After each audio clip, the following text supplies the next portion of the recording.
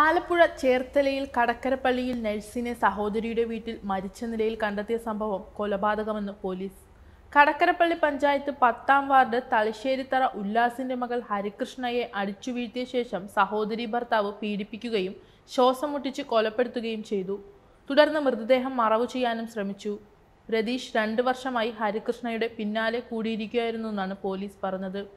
ഹരികൃഷ്ണയ്ക്ക് കൂടെ ജോലി ചെയ്യുന്ന സുഹൃത്തുമായി അടുപ്പമുണ്ടെന്നും അത് വിവാഹത്തിലേക്ക് എത്തുമെന്നുമുള്ള സംശയമാണ് കൊലപാതകത്തിനു കാരണമെന്നും പോലീസ് പറഞ്ഞു. ആലപ്പുഴ മെഡിക്കൽ കോളേജ് ആശുപത്രിയിൽ താൽക്കാലിക നഴ്സായ ഹരികൃഷ്ണ ഡ്യൂട്ടി കഴിഞ്ഞ് ശനിയാഴ്ച രാത്രി ചേർത്തല തങ്കിക്കവലയിലെത്തിയപ്പോൾ രതീഷ് സ്കൂട്ടറിൽ തന്റെ വീട്ടിലേക്ക് കൂട്ടിക്കൊണ്ടുപോയി. ഒപ്പം ജോലി ചെയ്യുന്ന യുവാവുമായുള്ള ഹരികൃഷ്ണയുടെ അടുപ്പത്തെക്കുറിച്ച് ചോദിച്ച് മർദ്ദിക്കുകയും കഴുത്തിൽ കുത്തിപ്പിടിച്ച് ജനലിൽ തലയിടിപ്പിക്കുകയും ചെയ്തു. ഇടിയുടെ ആഘാതത്തിൽ ഹരികൃഷ്ണ ബോധരഹിതയായി വീണു. തുടർന്ന് പീഡിപ്പിച്ച ശേഷം മൂക്കും വായും പൊത്തിപ്പിടിച്ച് ശ്വാസം മുട്ടിച്ച് കൊല്ലുകയായിരുന്നു. മരണം ഉറപ്പിച്ച ശേഷം മൃതദേഹം മറവ് ചെയ്യാൻ പുറത്തെത്തിച്ചു. അവിടെ വെച്ചും ചവിട്ടി ഇതേ തുടർന്ന് എല്ലുകൾ ഒടിഞ്ഞിട്ടുണ്ട്. മഴ വരുമെന്ന് കരുതി കുഴിച്ചു മുടുവാനുള്ള ശ്രമം ഉപേക്ഷിച്ച് മൃതദേഹം വീണ്ടും മുറിക്കുള്ളിലെത്തിച്ച ശേഷം കടന്നു കളഞ്ഞു ഇങ്ങനെയാണ് മൃതദേഹത്തിൽ മണൽ പുരണ്ടത്. സംഭവശേഷം കാണാതായ രതീഷിനെ ശനിയാഴ്ച രാത്രി ഏഴോടെ ചേർത്തല ചെങ്ങണ്ടയ്ക്കടുത്തുള്ള ബന്ധുവീട്ടിൽ നിന്നാണ് പിടിയിലായത്.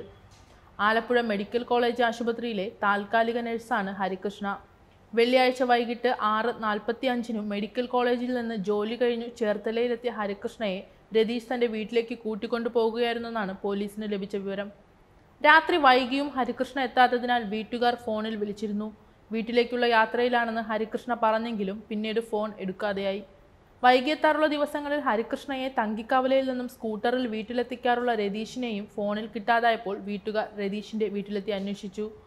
എറണാകുളത്തെ സ്വകാര്യ ആശുപത്രിയിൽ നഴ്സായ നീതുവിന് വെള്ളിയാഴ്ച രാത്രി ഡ്യൂട്ടിയായിരുന്നു. വീട്ടിൽ ആരുമില്ലെന്ന് തോന്നിയതിനാൽ രാത്രി വൈകി പോലീസിനെ അറിയിച്ചു. പോലീസ് എത്തി വാതിൽ ചവിട്ടി തുറന്നപ്പോഴാണ് വീടിനുള്ളിൽ തറയിൽ കിടന്ന മൃതദേഹം കണ്ടത്. കിടപ്പുമുറിയോട് ചേർന്നുള്ള മുറിയിലായിരുന്നു മൃതദേഹം. കൊലയാളിയായ രതീഷിനെ റിമാൻഡ് ചെയ്തു.